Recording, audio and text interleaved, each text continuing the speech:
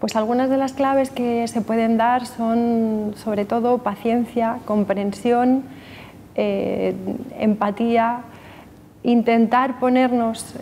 o acordarnos de cuando nosotros éramos adolescentes, de esos momentos en los que parecían, parecen lejanos pero que los hemos vivido y, bueno, pues tratar de dialogar, negociar, poner límites, valorarles por lo que son y, y darles un poco siempre el mensaje de que vas a estar ahí a pesar de, que, de lo que pueda pasar.